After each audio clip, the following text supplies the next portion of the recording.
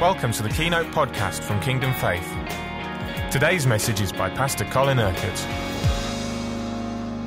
See, the point is this in any situation, either you're going to have the victory or the enemy is. If, if, if the Lord has the victory, you have the victory. If you don't have the victory, the enemy has the victory. So you've just got to decide well, am I going to be victorious or is the enemy going to be victorious? Are you there? Okay. So we read in Colossians chapter 1. I'm going to, we could read a whole section, but I'm going to just start at verse 11. He strengthens you with all the power of his glorious might. And it is this power at work in you that gives you patience, enabling you to persist in doing his will, and causes you to maintain your joy, thanking God the Father for all he has done in you. Now, all this is His power at work within you, right? Yes, it is His power in you that means you are now qualified to share in the inheritance He has prepared for all those He has called and set apart to belong to the kingdom of light. For He has already rescued us from the devil's dominion of darkness and, and has brought us into His own kingdom, the kingdom that belongs to the Son He loves. It is through him that we have been made worthy in God's sight through the forgiveness of all our sins, so that now we belong to him. Right, now just look at that last verse again. It is through him, through what Christ has done for us, that we have been made worthy in God's sight. Now, that will constantly be challenged by the devil, that truth. And it is a truth that you have to hold on to if you are going to be victorious. I have been made worthy in God's sight, period. And no matter who says what or tries to do uh, or come against me, I have been made worthy through Christ Jesus, through the blood of the Lamb.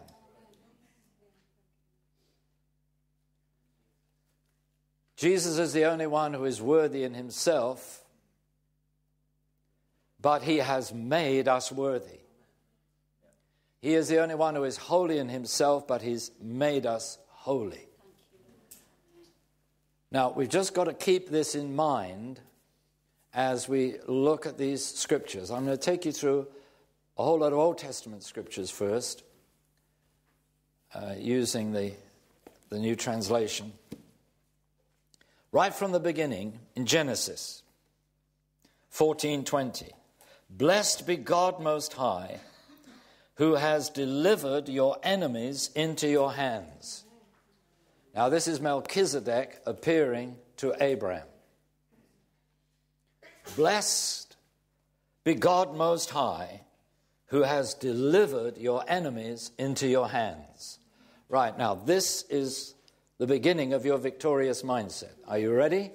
The, the Lord, the Lord, because he's talking about the Lord, Melchizedek, you see, the Lord has delivered your enemies into your hands.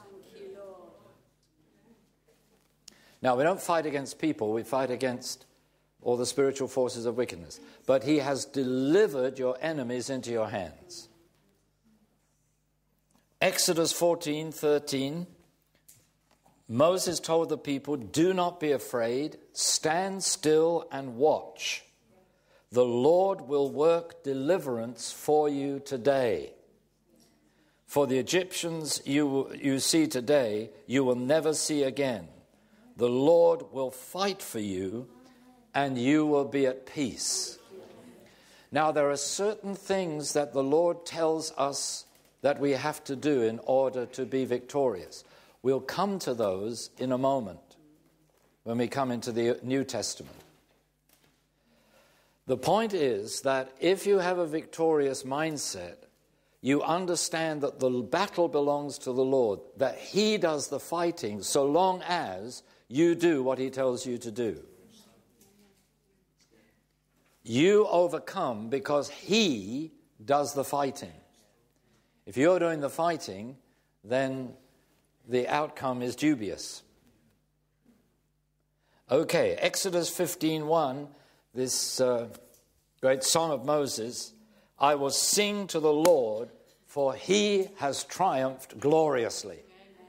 And you are in him, and he is in you. So you are in the one who has triumphed gloriously.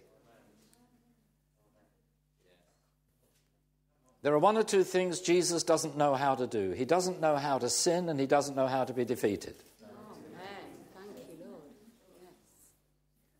And you are in the one who doesn't know how to be defeated. Are you there? Exodus 15, verse 6 Lord, you have revealed your glory through the power of your right hand, for your right hand has smashed the enemy in pieces. That's what the Hebrew means to smash in pieces.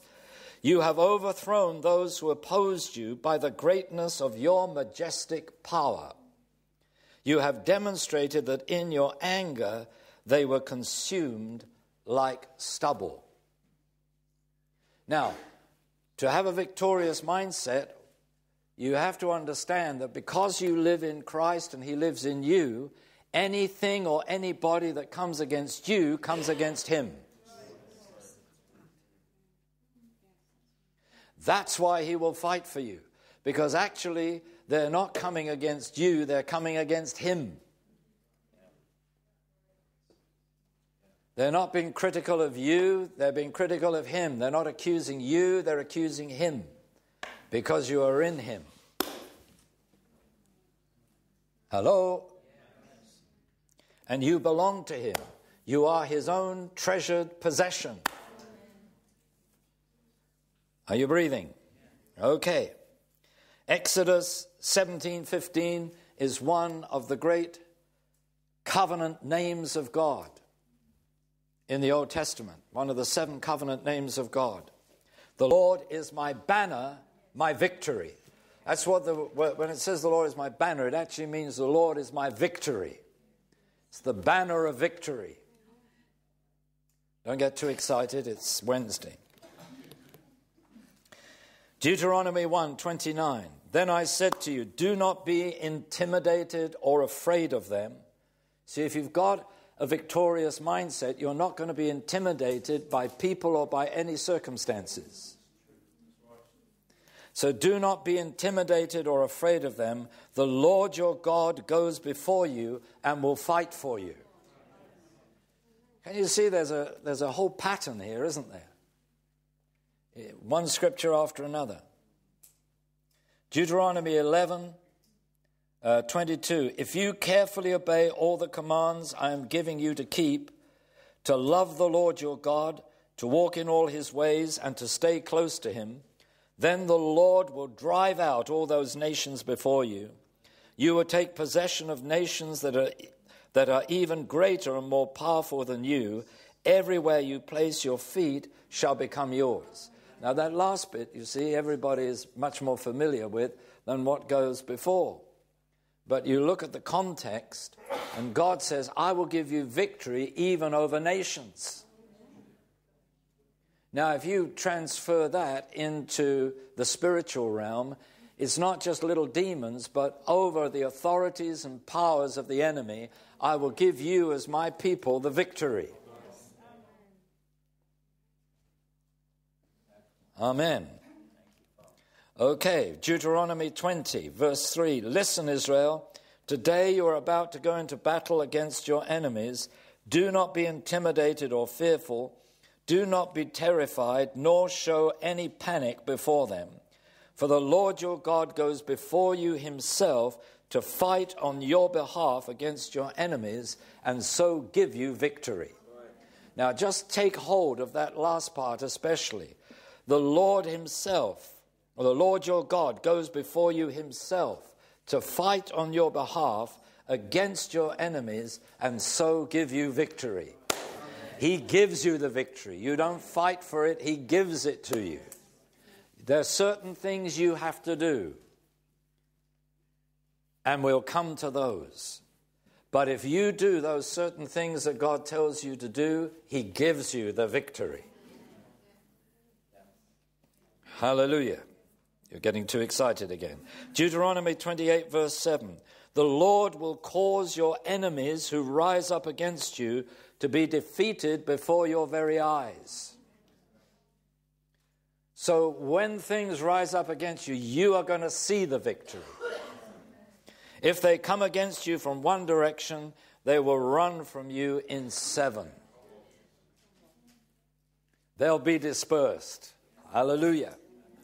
Deuteronomy 33 27. The eternal God is our refuge. Beneath us are his everlasting arms. He will drive out the enemy before you, saying, Let him be destroyed.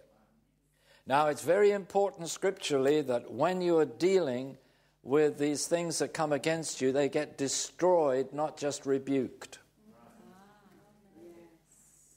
You rebuke something, it can come against you again, but you destroy it and it can't come against you again. The Lord destroys it because you've done what you were supposed to do. Deuteronomy 33 29. Israel, be joyful. Who can be compared with you, a people the Lord has saved? And we belong to Israel, don't we? He is your shield, your helper, and wields the sword of the majestic king. Your enemies shall submit to you, and you will destroy the high places of their idolatry.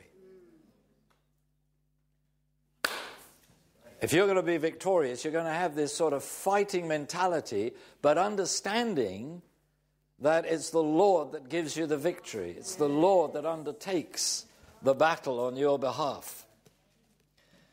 Joshua 21:44 The Lord gave them victory on every side according to the promise he had given to their forefathers. None of their enemies were able to stand against them. Just say this, none of my enemies, of my enemies will be able to stand against me. Whether they're demonic enemies, whether they're people who oppose you, none of them will be able to stand against you so long as you do the things that God tells you to do. I keep saying that, don't I? Right? So it's going to be important for us to understand those things. Okay. 1 Samuel 14:6 If the Lord is prepared to work for us, nothing will prevent him from giving us the victory, no matter what our numbers. It doesn't matter how few we are and how it's how big it seems the enemy's forces are, God will give us the victory. Why? Because He is prepared to work for us. Because we are in Him and He is in us and we belong to Him. We are His people. 2 Samuel 7 9. Wherever you have gone, I have been with you, and I have defeated all your enemies, making your name great. Now, if he makes his name great through operating through you, he makes your name great.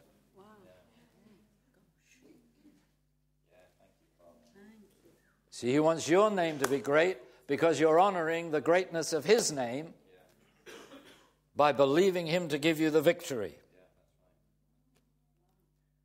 2 Samuel 23 5. Despite the behavior of my ancestors, God has made an everlasting covenant with me so that everything will now be in his order and will remain secure. For this is the victory that I desire, and will he not surely do this?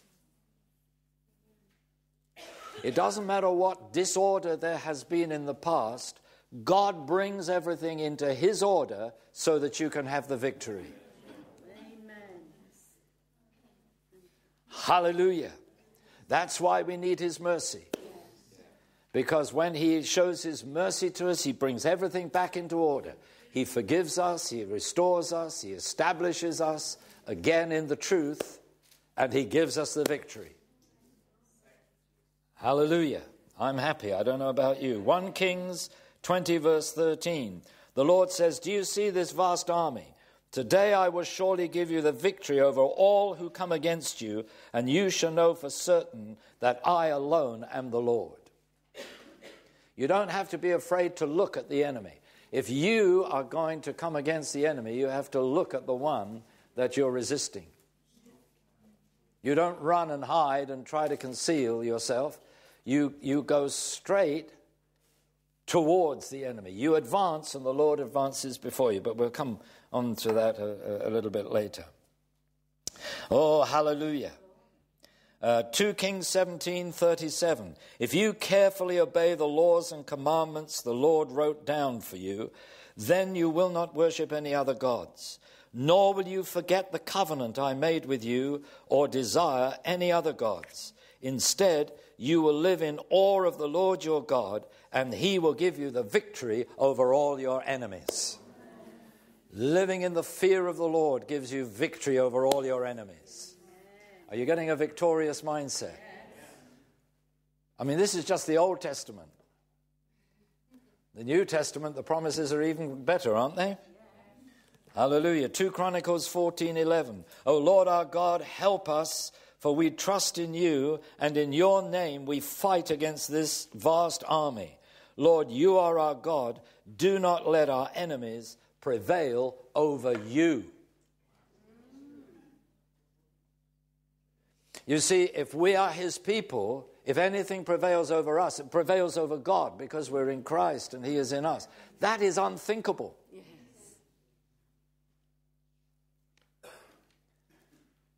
So you see, the prayer is here look, we're your people. Don't let the enemy prevail over you. Now, we would say, Lord, we're in Christ. Don't let the enemy have any victory over you because we're in you and you are in us. Victorious mindset, faith mindset. I am in Christ. I don't visit him, I live in him. And he lives in me, has come to make his home in me. So anything that comes against me comes against him. Any accusation against me is an accusation against him. Can you get the idea of this? It's having a victorious, it's actually just having a faith mindset, actually. But a faith mindset is a victorious mindset. Oh, hallelujah, hallelujah. Well, I'm happy. Uh, 2 Chronicles 15 The Lord says to you, Do not be afraid or terrified because of this great multitude, for the battle belongs to the Lord, not you. You see, we know some of these phrases the battle belongs to the Lord, everywhere we tread our feet. Uh, but you see, you've got to see the context. It's all within the context of the Lord giving us victory. Psalm 18:34 He trains me for battle so that I can do what in the natural would be impossible for me. But we've got to understand what we've got to do, what battle we've got to do so that he will do the fighting for us. Seems strange, doesn't it? But nevertheless, that's the truth. Psalm 20, verse 5 We will shout for joy because of, of your salvation, and in God's name we will raise banners of victory. May the Lord answer all, our, all your prayers. We will raise banners of victory. Hallelujah. Well, I'm happy. 20, Psalm 24, 8 Who is the King of glory? The Lord who is strong and mighty, the Lord victorious in battle.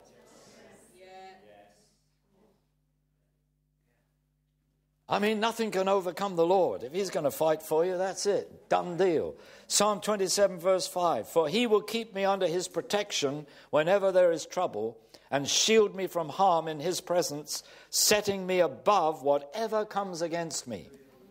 I shall then rise up over my enemies even though they surround me. And I will offer shouts of triumphant joy to the Lord. I will sing his praises. I like that. Shouts of triumphant joy.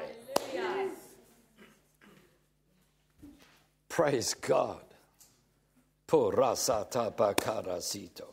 Psalm 32 7. You are my refuge. You will protect me from trouble, for you will surround me with shouts of deliverance and victory we will have those shouts of, of triumphant joy. But I like this verse, you see. The Lord will surround me with shouts of deliverance and victory. Way! I'll go for that one. Am I the only happy one here this morning? All right, Psalm 44 5. We shall overcome. Uh, we shall overcome our enemies through you and trample down those who oppose us by the power of your name. Amen. We are going to trample them down. because He's going to give us the victory. He's going to crush them beneath our feet. Psalm 42 1 Clap your hands and shout to God in triumph, all you people of the earth.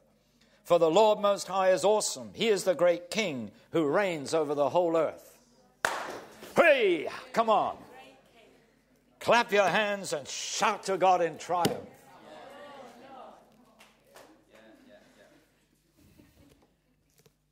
I, am not going to read all of them. We've just got to be very selective here now. Psalm 56, verse 9 My enemies will retreat when I call on you. Of this I am sure, for God is on my side.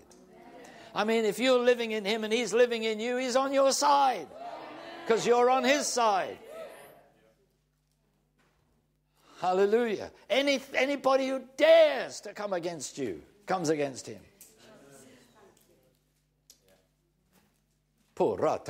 Can you see what a nonsense it is for Christians to start judging and accusing one another, coming against one another? I mean, it's crazy stuff. And that's the very thing the enemy encourages to undermine faith in the victory, not just personally, but the corporately that the church is to have. Are you there? Okay. Uh, where are we? Uh, Isaiah 9, verse 3 You have caused the nation to become great and have increased the people's joy, the joy of harvest time, the joy of victory over the enemy. I like that. Amen. Oh, for you have shattered the yoke that burdened them and the rod that oppressed them. it's interesting, you see. The Lord shatters all the oppression and then gives them the harvest time where there are shouts of victory.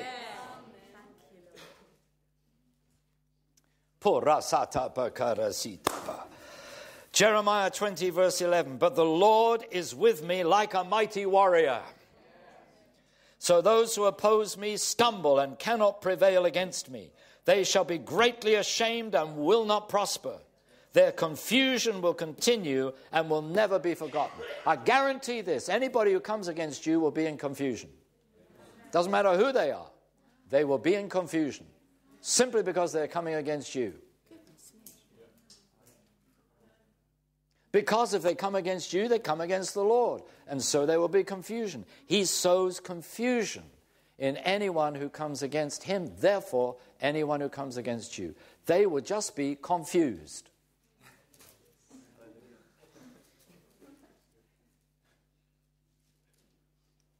And you will see it in your experience. Anybody that judges you, criticizes you, accuses you, you can guarantee they will be in confusion. Because it's the Word of God. Are you there? Hallelujah. So you need to pray for them. Joel 2, verse 11 The Lord goes before his army with a shout See, it's not only us that's shouting, it's the Lord shouting. Oh, wonderful, isn't it? His camp is great, and those who obey his word are mighty. So you've only got to obey, and you'll be mighty. The day of the Lord is great and awesome. Who can withstand it? The day when the Lord acts.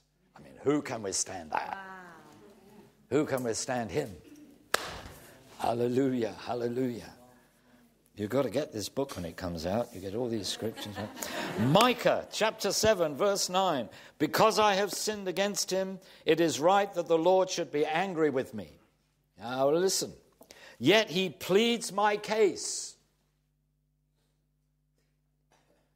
Now, isn't this amazing? You see, every one of us in this room sometimes sins, fails, messes up, grieves the Lord. And you would think that that would give opportunity for God to allow us to be defeated. But not a bit of it. Because even if you mess up, you're still in Him and He is still in you. Are you there? Because I have sinned against him, it is right that the Lord should be angry with me. Yet he pleads my case and deals justly, that is, with his justice, with those who have oppressed me. You see, when you mess up, that gives the opportunity for people to oppress you. And you would think, well, wait a minute, that seems quite justified on the one hand, but no, he's, they are oppressing one of his children. They're oppressing someone who lives in him. They're oppressing someone in whom he lives. Are you getting this? So he will bring me out into the light, and I will see his righteousness established. Then my enemies will see and be put to shame. Now, this is a very important scripture because it says, well, even, even if I've messed up, even if I'm not in a very good place with the Lord, and people start to come against me and criticize me and judge me because of that, God is going to lead me through, bring me out into the light, and then the end of the matter will be they will be put to shame, not you. Because the Lord has forgiven you, the Lord has restored you, the Lord has dealt with his justice, the justice of Jesus with you. If we put the New Testament uh, understanding onto this. Zechariah 4 6. It will not be by your might or power that you, will, that you will prevail, but by my spirit, says the Lord Almighty. You see, again, the context, we all know this is not by might or power, but by my spirit, says the Lord. But what he is talking about is prevailing against your enemies. That's the context. How will you prevail? By the Spirit. Where is the Spirit? Living in you. Are you there? Malachi 4, verse 3. You will overcome those who do evil. They will be as ashes beneath your feet on the day that I act, declares the Lord Almighty. I mean, this God of love knows how to deal with those who come against him. It's not a clever thing to do, is it? Can you see it's not a clever thing to come against your brother or sister because, well, you don't need me to preach it, do you? It's obvious from the scripture. Okay, now we come into the New Testament.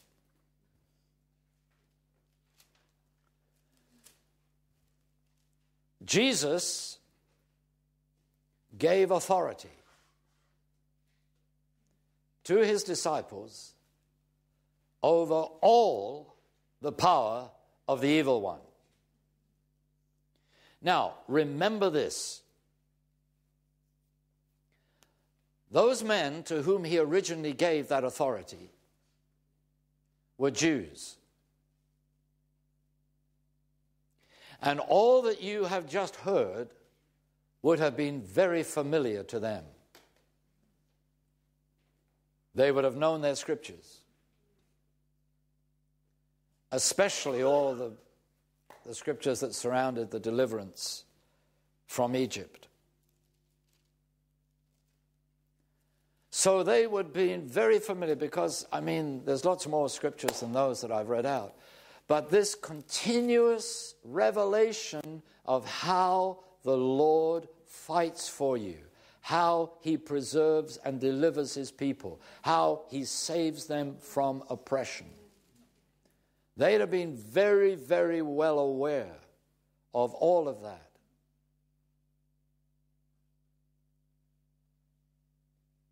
They would have been aware that the battle belongs to the Lord. They would have known all these scriptures about the Lord going like a mighty warrior, the Lord saying that he would fight for his people. They would have known these things because it was the history of their nation.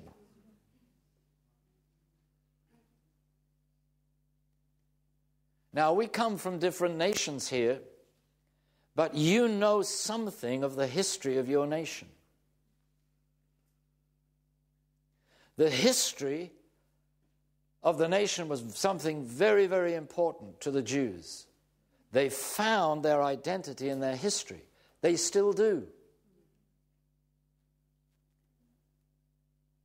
The mentality of, of the Jews today has been so colored by the Holocaust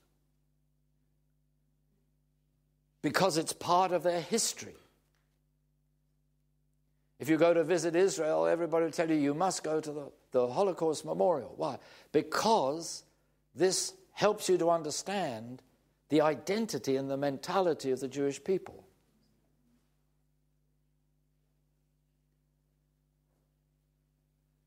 It's their history. So these guys to whom Jesus said that would have been very, very familiar with all this history and with how God had delivered and saved and fought for his people, even though time and again they had rebelled against him, denied him, worshipped false gods, and all the rest. Yet still, he had brought them through.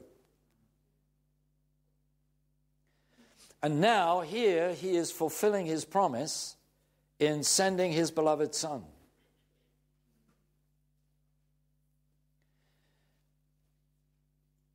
They understood the authority and the power of God over and against whatever man could do.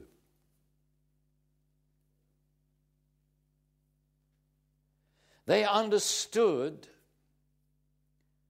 what it was to be oppressed and opposed by enemies.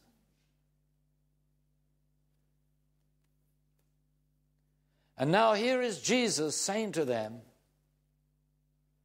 I give you authority over all the power of the devil himself,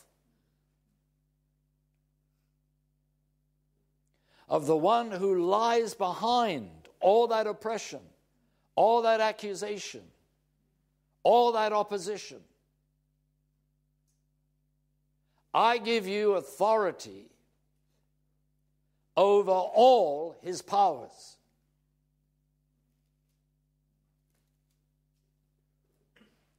Now, God Himself has the authority over the devil himself. But what He was saying to the disciples is, I give you authority over all of his powers so that nothing will harm you.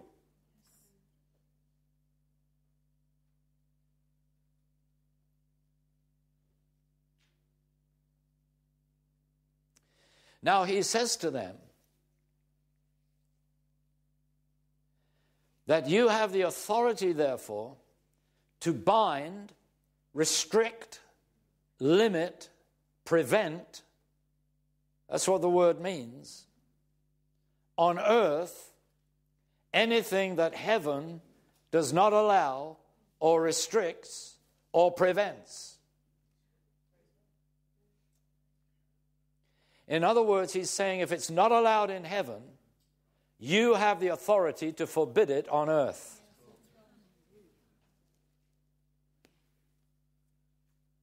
I'm giving you that authority. Why? Because you now belong to the heavenly kingdom. And if we just jump forward a bit to after Pentecost, because you live in Christ and He lives in you by the power of His Spirit. So the scripture has even more significance for us now than it had for the disciples when they first heard it.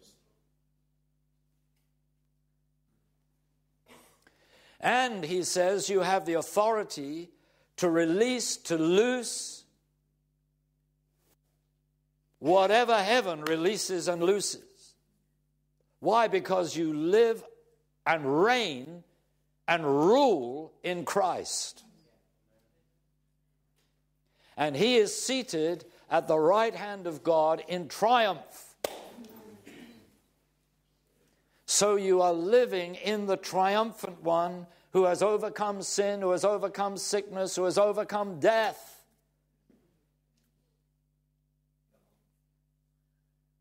Are we getting it? Now, you see, if you believe in the victory like this, and someone you're praying for believes in the victory like that, then you're home and dry, aren't you? Because if any two agree concerning anything, it's not so easy if you agree in the believe in the victory, but the other one doesn't. But if you both agree with the victory, then it should be plain sailing, shouldn't it?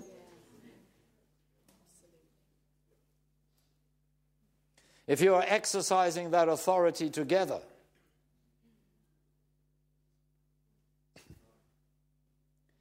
Now, Jesus says to the disciples that he gives them that authority, but there's no point in having authority unless you use it.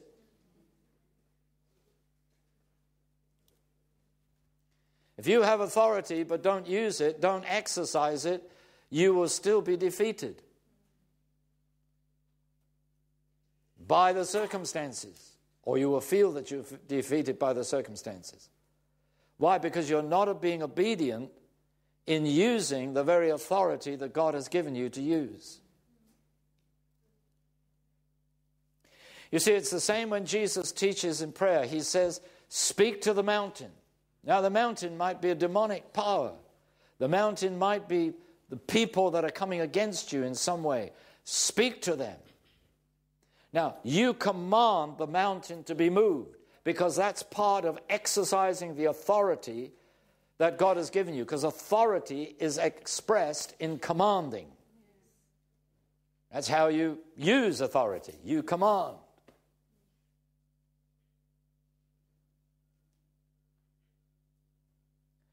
That's why within the church, when the leadership tells you to do something, you do it. Because they have the Lord's authority. But we're not going to get into that this morning. But you come against them, you're coming against the Lord's authority because He is the one that's put them in place. It's a serious thing to do in Scripture, a very serious thing to do. But that's another sermon. What we're doing now, as we understand that we need this victorious mindset, is that we have to exercise and to use the authority that God has given us in prayer. You speak to the mountain. He doesn't say you have to move the mountain, the Lord moves the mountain. You exercise the authority, and the Lord fights for you. The Lord transforms the situation. Speak to the mountain, it will be moved. It doesn't say you will move it, but you have exercised your authority. You have exercised your faith. You have believed the victory. Because Jesus says that when you speak to the mountain, you must believe in your heart that it will be moved. In other words, you need a victorious mindset when you pray and address the mountain. It's not, I wonder if this will work or not. It has to because of the authority with which you are speaking to the mountain. It's not because you're just doing something in a mechanical way because you know this is scripture, but you're doing it with, Jesus says, with that full assurance of faith that is in your heart because you have a victorious mindset. I have the victory in this situation. Yes. Because I am in Christ, I have the victory. I know no defeat.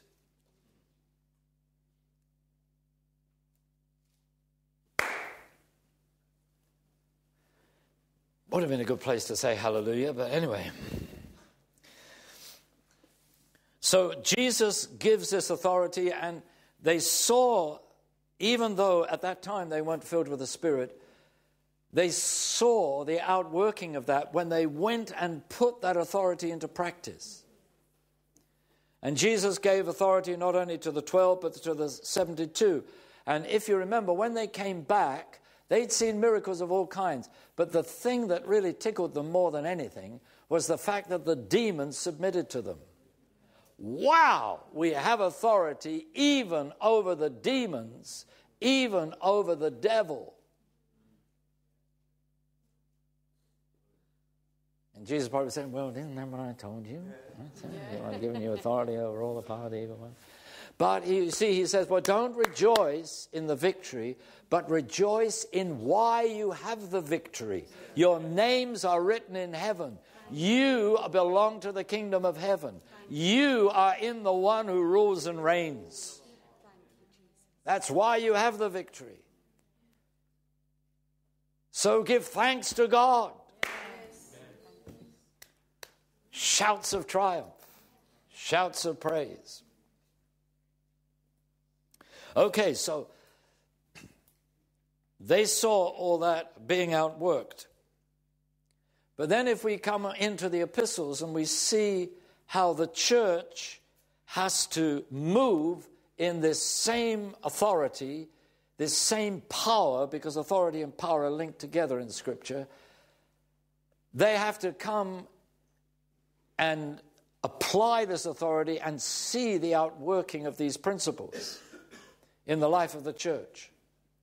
So, Romans 8, verse 4 In Christ, all the demands God expressed in the laws he gave were fulfilled. So we now live in the good of what he accomplished. He succeeded where we had all failed miserably, so that now we can live as if we had succeeded. he gives us the victory, but it looks as if we got the victory. But actually, it's his victory. Are you there? His success has become our success so long as we no longer live. Now, listen, listen, listen, because this is one of the things you see that we have to do. So long as we no longer live in the weakness of our old sinful nature, but now live led by and filled by God's Spirit. What does that mean? The Spirit will always lead you into victory.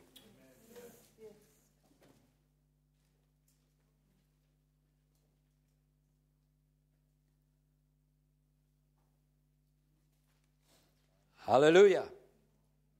Some of you have been struggling with issues for years. God wants to give you a victorious mindset so that the issues then will be transformed. Difficult to see the situation transformed unless you have the victory within your spirit first. Are you breathing? Romans 8:37 No in all these things all these things that come against us, all these things that can afflict us, all the problems that can arise. No, in all these things, we are more than victorious through Him. More than conquerors, more than victorious. Why? Because He gives us the victory. You're victorious if you fight and you win, but you're more than a conqueror if you win because He's fought. Hallelujah. You see, this is a victorious mindset. I am more than a conqueror. Now, it's not just repeating that to yourself, I'm more than a conqueror, I'm more than a conqueror, I'm more than a conqueror, because you know that it's scripture. No, you believe it. I'm more than a conqueror. Hallelujah. I know no defeat because I'm more than a conqueror. Are you there? No, in all these things we are more than victorious through him, for he has already won the victory for us and demonstrated such love for us. It's good, isn't it? 2 Corinthians 2, verse 14. But thanks be to God, for he always leads us in his triumphant procession because we are in Christ. Can you imagine Christ leading somebody into failure? Come follow me and you will fail. Trust me and you will fail. See, it's unthinkable, isn't it? It's absolutely unthinkable when you put it like that. Uh huh. So, he always leads us in his triumphant procession because we are in Christ, and he uses us everywhere to go to spread the truth about him. How can you spread the truth if you're not living in it yourself?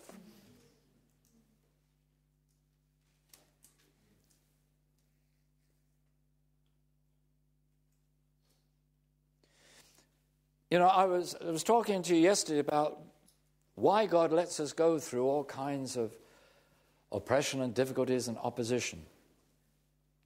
That actually he, he does a whole lot in you. He exposes, you know, all that refining we talked about, about gold last night.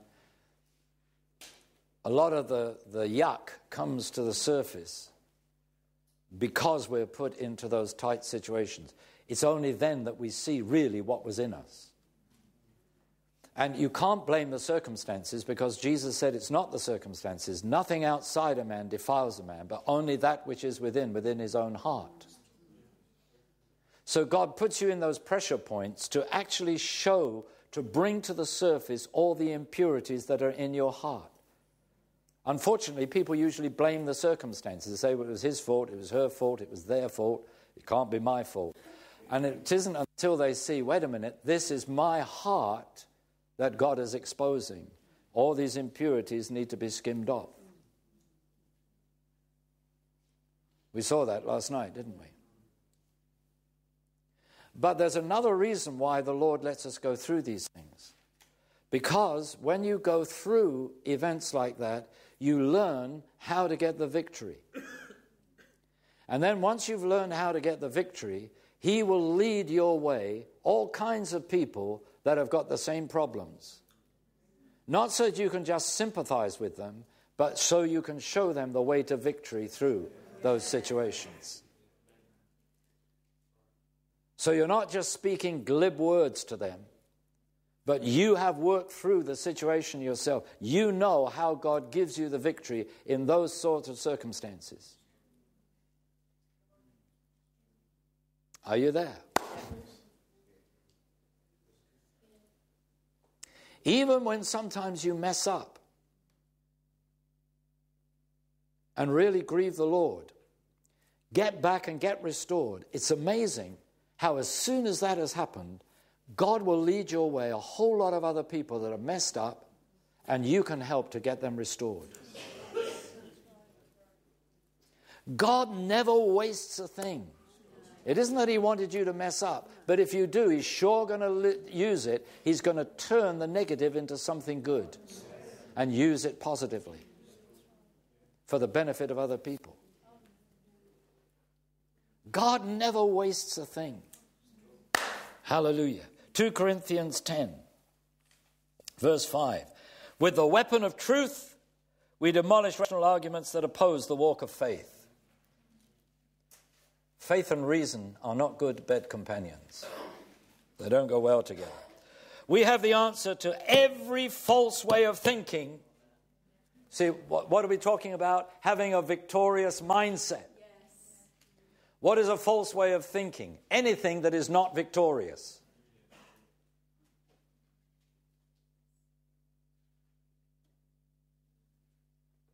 Why? Because it's not faith. If it's not victorious, it's not faith. So it's false. It's not the truth.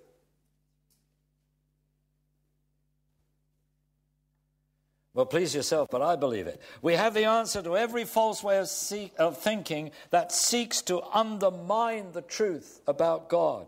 We exercise authority. Look at, look at this. I want you to look at this. Look, we exercise authority in the way we think. You see, if you don't have the right thought, if you don't have the victorious mindset, then the rest can't happen. You won't speak with victory, you won't act in victory, you won't exercise the authority that God has given you. Are you there? We exercise authority in the way we think, denying every negative or rebellious thought. I can remember years and years and years ago now because I'm as old as Noah. But it seems so long ago, it must have been in a former incarnation. But I can remember when, when God began to teach me all this stuff. I mean, I was a very young pastor at the time, but, but I can remember he, he taught me how to take the shield of faith against every negative thought.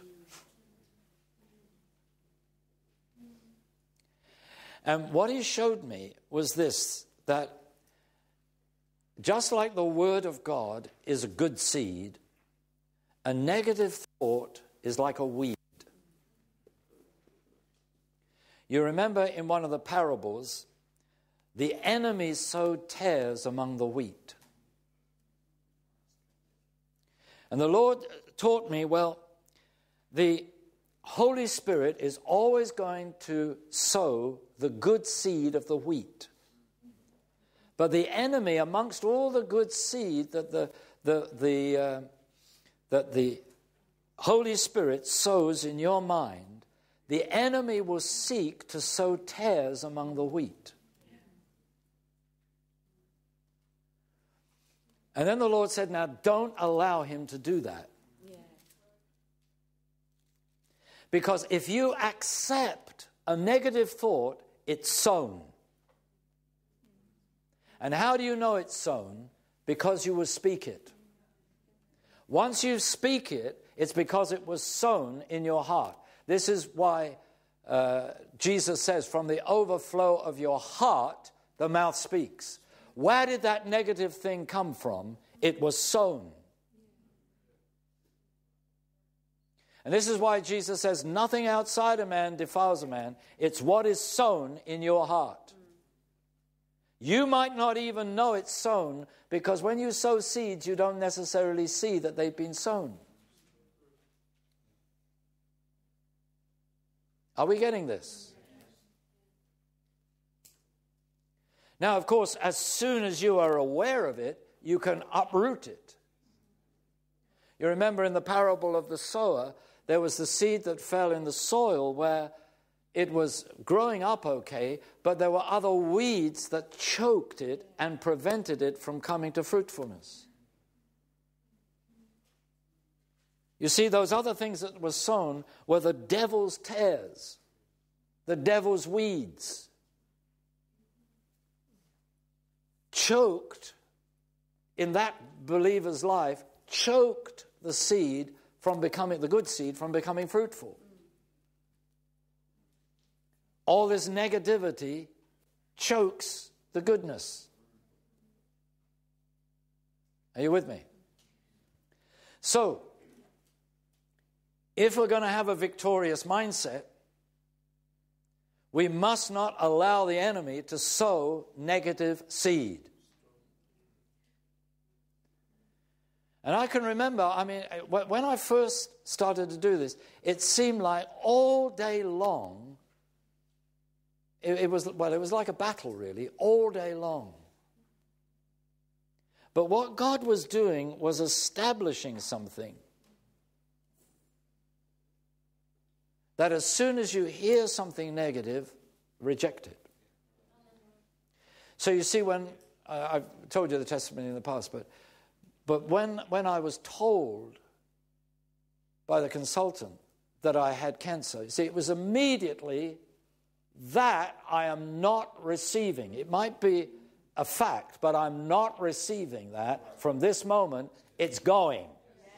Why? Because you see, instinctively, that was negative. The shield of faith immediately. But you see, when anybody comes against you with accusation, that's a lie.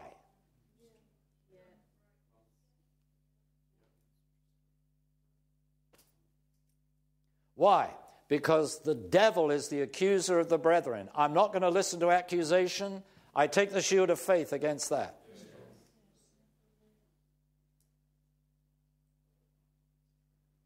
Are you there?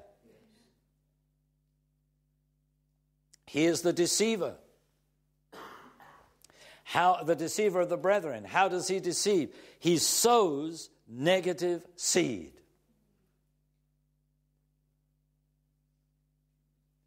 Now it's best not to let him sow it. If you've allowed him to sow it, as soon as you're aware of it, uproot it by the blood of Jesus. Keep your mind clear of all the negativity. Now, sometimes you see, what, what happens when you go through a period of oppression, when the enemy is trying to oppress you? He bombards you with negativity. He absolutely bombards you. It's not just, it's not just the odd thought, but it's boom, boom, boom, boom. It's like being under an artillery attack. What's his purpose? To try to wear you down. Ultimately, for you to have a breakdown so that you can no longer function with a positive mindset.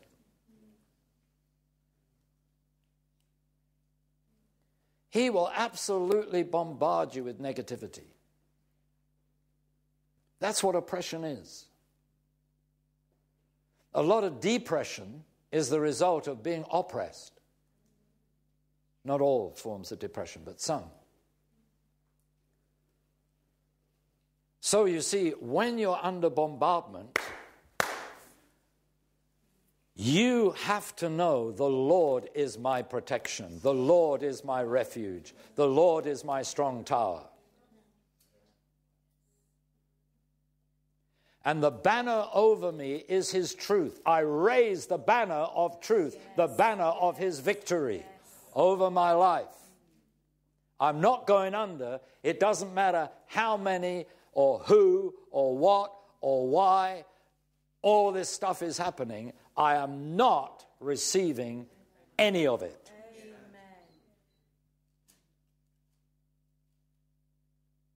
Hallelujah.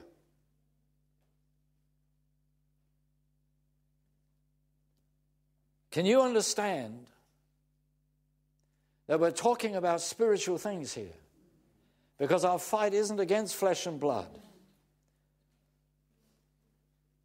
But can you understand that even, even a Christian can be an emissary of the, of, of the enemy by speaking negative things that have been sown by the enemy? See, if, if the enemy sows a negativity in your heart and then you give expression to it, you have become the voice of the enemy. Now, that is the thing that Jesus was teaching Peter at Caesarea Philippi when he looked him straight in the eye and he said, Get behind me, Satan, you're on the side of man, not of God. Why? Because he spoke from his reason that opposed the truth.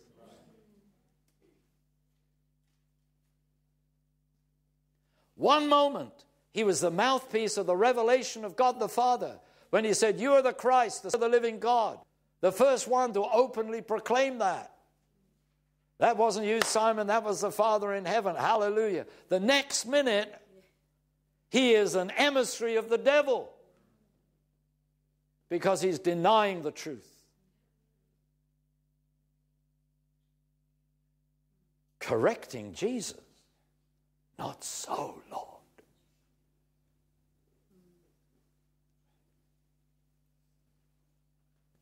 So that's why you need to keep your mind victorious, clear of all this negativity, lest you become a mouthpiece to someone else of something that has not come from God. Because God does not accuse his children. As we saw yesterday, he convicts, but he never accuses. He doesn't criticize them even. God will never criticize you to someone else. Isn't that, isn't that wonderful?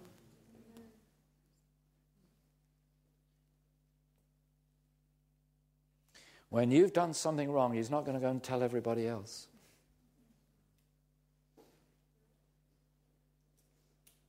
He'll deal with you. He'll forgive you. He'll cleanse you.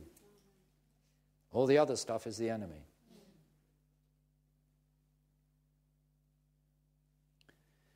So,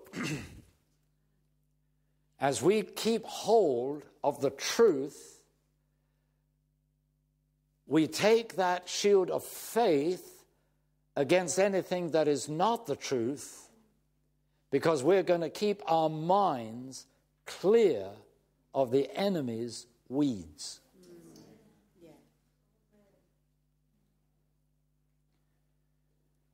And when I started that, it was as if I was having to say, I rebuke that thought, I reject that thought, I'm not hearing that, I'm not listening to that. I seem to be doing it all day long. And I think it was because, you see, the enemy thought, right, we'll really see if this is going to work. we'll, we'll try to prevent this from really taking root in this guy's life.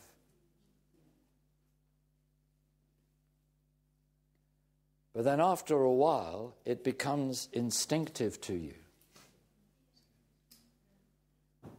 You've got to keep your guard up because you put your guard down, the enemy will always take advantage. Okay, come on, you're holding me up again. Let's get back to this.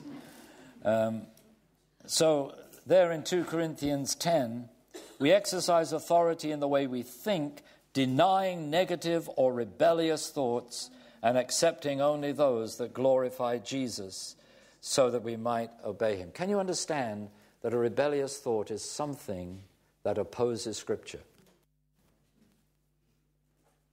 That is a rebellious thought. We don't like to use that word. Oh, I wouldn't have a rebellious thought. Yes, you would. If you have a thought that opposes Scripture, it's a rebellious thought. Well, you don't want any rebellion to take heart, to take root in, in your mind, your heart. Heart, mind, remember. Hebrews 10, verse 12. But when this priest, oh no, wait a minute, I've missed some. But Ephesians 6, 16. Well, your faith is like a shield that you have to take hold of and that enables you to overcome anything the devil throws at you. Yes! Doesn't matter what he throws, he can't get through that shield of faith if you put it in place. Somebody say hallelujah. Colossians 1:18 He is the head of his body the church for he was the first to rise from the dead so that having conquered everything that opposed God's purposes he should now have supremacy over all things. He has conquered everything that opposes God's purposes. Hallelujah.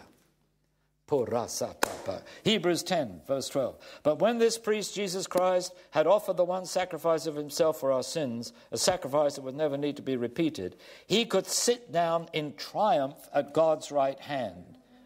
Where are you? In him.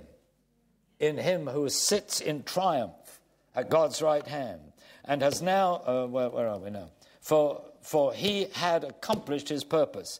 Now he awaits the time when all his enemies are under his feet and are made subject to him. Hallelujah. And we're part of that process of seeing all his enemies overcome. Hallelujah, hallelujah, hallelujah. 1 Peter, uh, verse 3. Uh, sorry, chapter 3, verse uh, 22. You were saved because in his resurrection, Jesus Christ overcame death and has now ascended into heaven where he reigns at God's right hand, together with the angels, authorities, and powers that are in submission to him.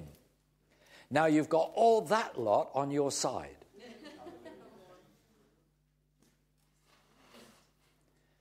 if, if you are in Christ, seated triumphant in heaven, then all the powers, all the angels, authorities, and powers that are in submission to him are on your side. Now, the importance of that is that you exercise the authority here on earth. They exercise the authority on your behalf in the heavenlies. See, there are times when I say, Lord, just, just get all your heavenly host operating in this situation. Why? So that He can give us an open heaven. Now, those powers that are in submission to Him are greater than the powers that are in submission to the devils. There's conflict that goes in on in the heavenly places.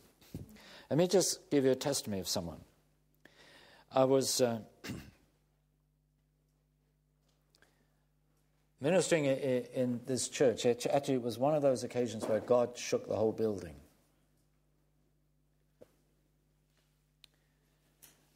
Uh, but this was a big stone, wasn't this? It was a big stone building, hundreds of years old. Shook the thing when the Spirit came. Uh, the reason why, why, why, did God do that? Well, we, we were praying beforehand. This was, you know, a number of churches coming together for this mission we were doing in this place. And uh, there was this lovely little man. He was, he was a deacon, I think, from one of the Baptist churches or something like that. And, and he prayed a, a rather foolish prayer because he said, Lord, we want you to move so strongly and powerfully tonight that you shake the building. so God did.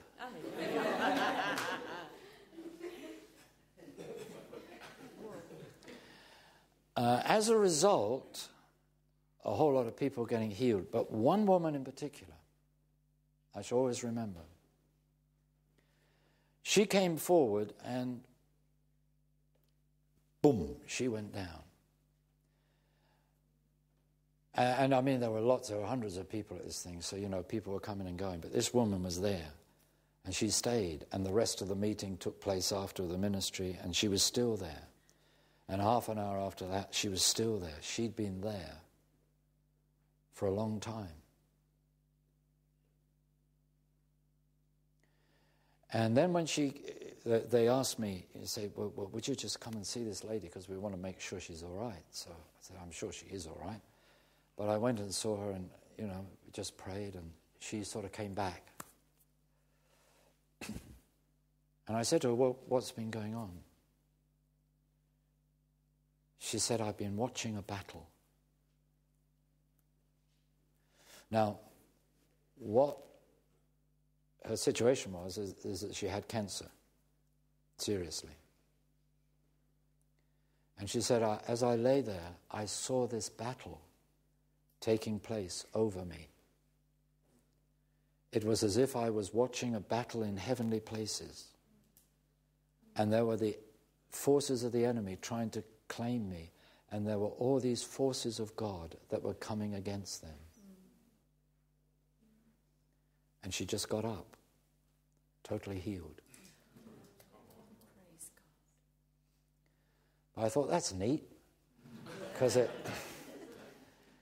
because what, what the Lord showed her, you see, is the spiritual battle that often goes on in situations like that.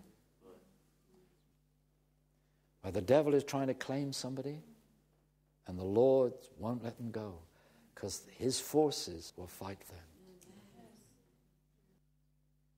Actually, there was, there was another situation. This, this was a different woman, but where, where this, this other woman was out for a long, long, long time. And uh, she came she came round and her pastor wrote to me about her afterwards. He said that woman was the most disobedient and rebellious person in the whole congregation. I think he said more than that, that I've ever known. the most disobedient, rebellious Christian that I've ever known. He said that night she was completely transformed and is now the most submissive person that you could wish her to be. That's God, isn't it? Yeah. But you see, that's the spiritual conflict that He resolves over people in the Spirit. Somebody say hallelujah. Come on, look, we've got to get on with this. Uh, 1 John 4, verse 4. However, dear children, because you belong to God, you have overcome these false spirits and those influenced by them. The Spirit of God lives in you, and He is far greater than the spirit of Antichrist that is at work in the world. You have the victory over false spirits. Understand that often those false spirits will operate in people around you or people that you come into contact with. What is coming from their lives is something that is false, it is not the truth. Maybe reason, it may be facts, but it's not the truth. But you have the victory. Hallelujah. 1 John 5, verse 4 Everyone who has received the new birth that God gives overcomes the spirit that influences the world around him. All these spirits are operating in the world, aren't they? It is our faith in Jesus and what he has done that gives us victory over worldliness. Victory over worldliness. That is important. Because you see, there is the spirit of this world. It's a spirit that is operating out there in the world, causing people to oppose Jesus. But He's given us the victory over that spirit of worldliness, yes? I ask you, who has really overcome this worldliness? Obviously, only, uh, only he who believes and trusts in Jesus as God's victorious Son. Hallelujah. Then, just to finish, um, these scriptures. There's, there's all the things from Revelation 2. Let anyone with spiritual understanding hear what the Spirit says to the churches. I will allow anyone who is victorious to eat from the tree of life that is in the paradise of God. No one who is victorious will be harmed by the second death, the lake of fire. To he who is victorious, I will give the hidden manna and a white stone of complete forgiveness. On this stone, a new name will have been written, which no one will know except the one who receives it, signifying that he has a completely new inheritance. To him who is victorious, who keeps my ways unto the end, I will give authority over the nations. Whee! That's not bad, is it? Uh, just as I received authority from my Father, he will shepherd them with an iron rod that breaks clay pots into pieces. I will also give the morning star, myself, to everyone who is victorious. He who is victorious will be clothed in a white robe, and I will not remove his name from the book of life. Instead, I will acknowledge him before my Father and his angels. I will make the one who is victorious a pillar in the temple of my God. He shall never leave that temple, and I will write on him the name of my God and the name of the city of my God, the New Jerusalem, that will descend from heaven from my God, and I will write on him my own new name. To the one who is victorious, I will give the privilege of sitting with me on my throne in the same way that I was victorious and sat with my Father on his throne. Come on, that's got to be good. It's got to be worth an hallelujah, hasn't it? I mean, it's got to be worth an hallelujah. Revelation 12, verse 10. Then I heard a loud voice saying in heaven, Now the time of salvation, power, of God's kingdom and Christ's authority has come because the accuser of our brethren has been thrown down. He, accused them, he who accused them before God day and night. But they overcame him through the Lamb's blood because of the word of their testimony and because they loved not their own lives even to the point of death. Revelation 21 7. The victorious will inherit these things, and I will be his God and he shall be my son. Victorious mindset. Just like you have to cultivate a thankful heart, so you've got to cultivate a victorious mindset. And that start by saying, I will not allow any lie, any deception, any accusation, anything false to be sown into my mind by the enemy either directly or through anybody else. I will take the shield of faith against every negative thing. Nothing is going to be sown in my mind to undermine my faith in the truth. Hallelujah. Because, beloved, you see, if you don't have a victorious mindset, you won't have the victory in your circumstances.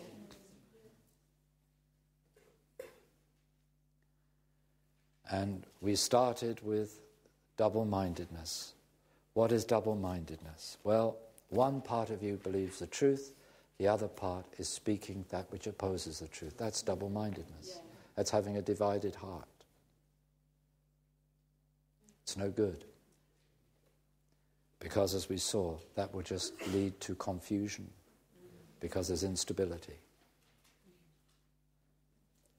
And if you go through a period like that, we'll get back on track as fast as possible.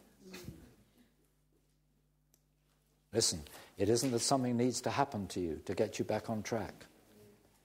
It isn't that you need prayer. It isn't that somebody needs to do something. It's you've got to do something. Yes. You've got to kick out the negative stuff. You've got to focus on the positive. Yes. It's your responsibility. Your mind is your responsibility. It's nobody else's responsibility. It's not the leader's responsibility. It's not your friend's responsibility. It's not your husband or wife's responsibility. It's your responsibility. Only you can determine what is going to go on in your mind. Hallelujah. So, isn't it good? to have a victorious mindset and a thankful heart. What a combination. Come on, let's stand. Praise God. Hallelujah. Okay, now let's do some mind work. It's your responsibility. So let's begin. I mean, God is going to give us the victory in all kinds of ways, but let's begin where we need to begin. By taking that shield of faith. But you see, you can't take the shield of faith against what's already there. So we've got to uproot any negatives that are already there. So if you're aware of any negative thoughts, any of those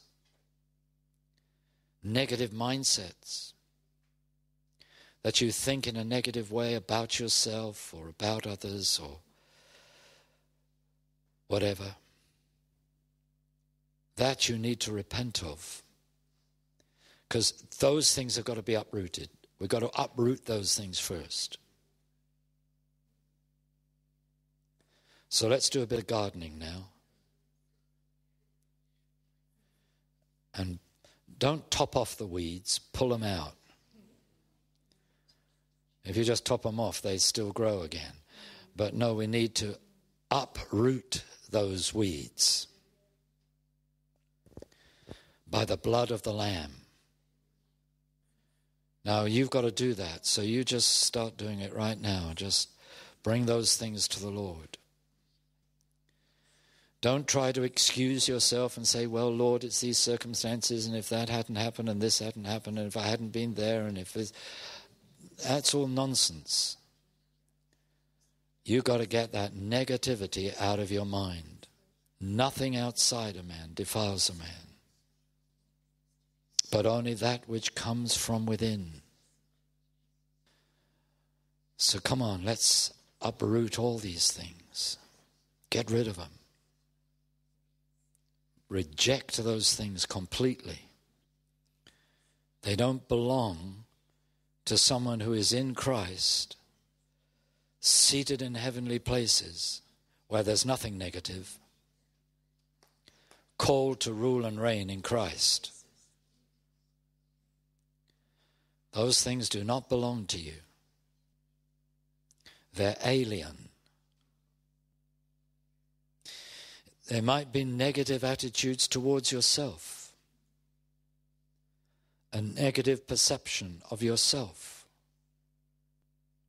That is a denial of the truth of who you are in Christ. So you need to say, Lord, I'm going to stop thinking of myself in that way, I'm going to see myself now with the eyes of faith.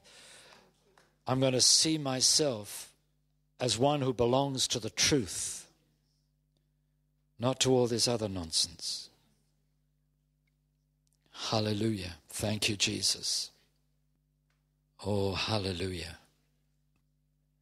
If you feel that there's some negative thing that has been oppressing you, that's when you say, Lord, you are my refuge. You are my protection. You are my defense. I place myself in your hands. I believe the truth. I take the shield of faith against all those things. And I thank you that you fight for me to bring me out into the place of freedom, into the spacious place where I will not feel hemmed in, beaten down, and oppressed in any way. And even if you're not oppressed, but you know the enemy comes against you with those negative thoughts, this is where you take the shield of faith now. But you know, you've got to keep doing that all day long. Some of you perhaps going to have to go through what I went through years ago. And just keep doing that until it becomes sort of automatic for you to, ah, I reject that. I'm not listening to that. That's, that's, that's just nonsense. That's rubbish. It isn't that you have to get all spiritual about it, you just reject it. You don't have to say, In the name of Jesus, I take authority over that thought and I reject. You don't have to do any of that stuff. You just say, I reject it. You can say in Jesus' name if you like. Can say, That's not the truth about me. I reject that immediately in Jesus' name. If you reject it, it can't take root. And you have the authority to reject it because it hasn't come from heaven. It's not established in heaven. Those lies, those accusations have not come from heaven, so you reject it. Hallelujah.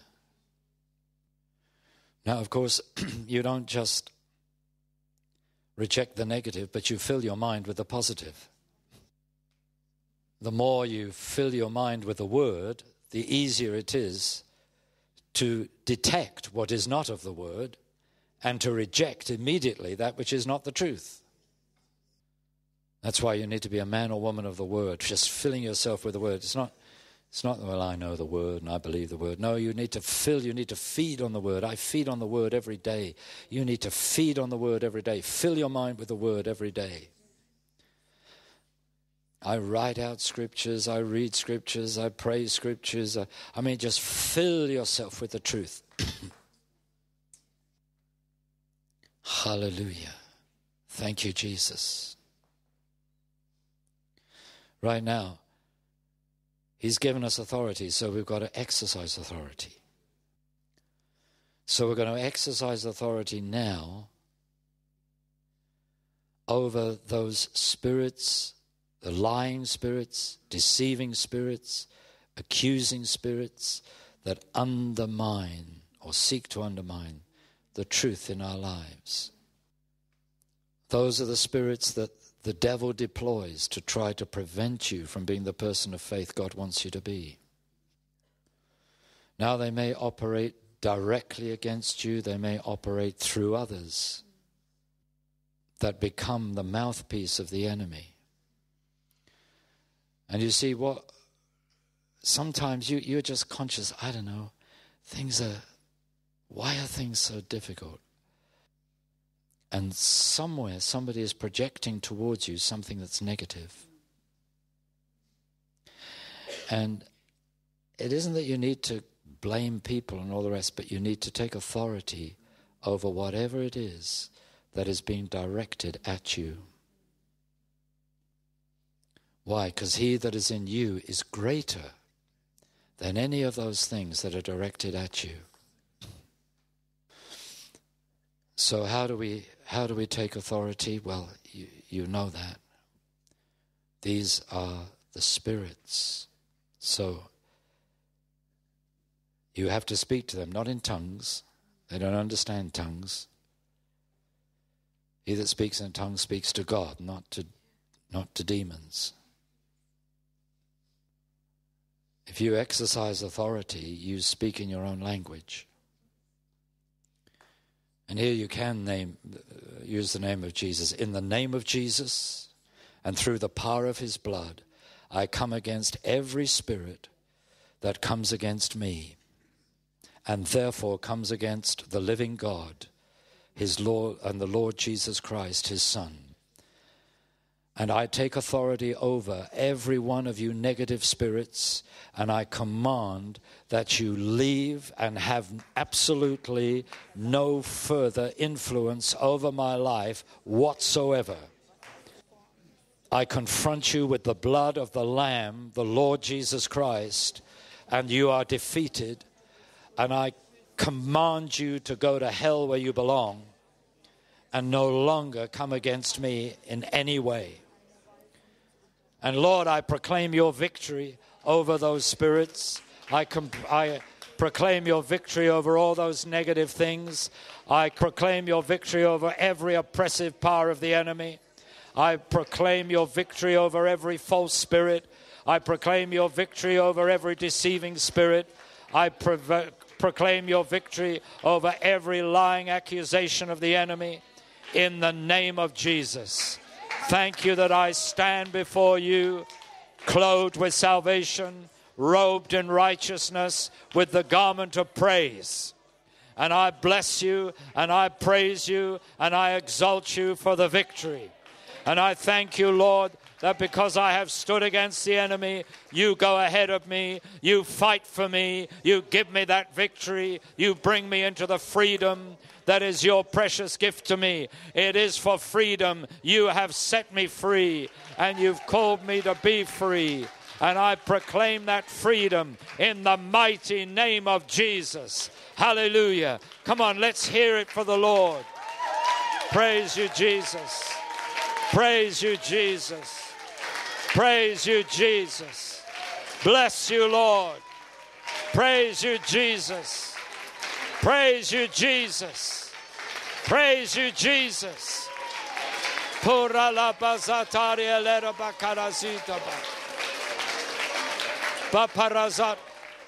Chad, let's have some music. Come on, we're going to praise God. We're going to end with our song of victory. Amen.